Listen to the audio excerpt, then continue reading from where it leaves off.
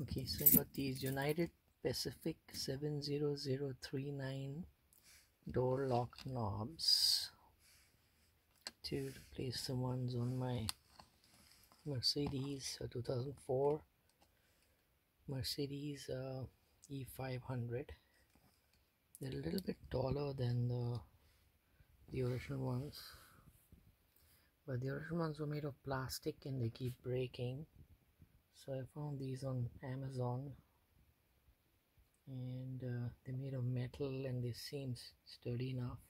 Also they're tall enough. So this seems like a good replacement. I unscrewed the original door lock knobs and from the from the mechanism and basically that's what it looks like. It's the new ones just screw in. These are like partially threaded I think.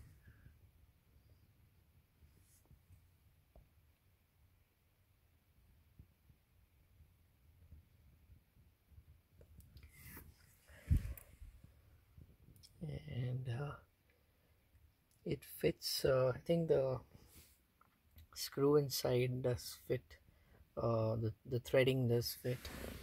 That's sort of what it looks like on the other passenger door.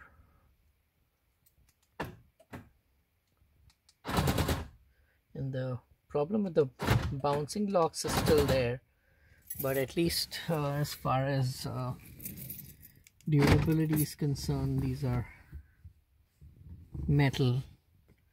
So these are definitely better than the plastic ones. So it's just a matter of pushing it in like this and screwing it pushing it in and screwing it clockwise. And this now does this is this, this is pretty tall.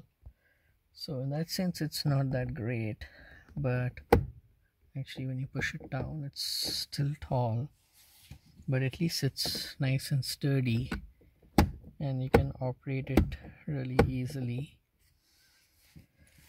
Let's see if it works with the remote.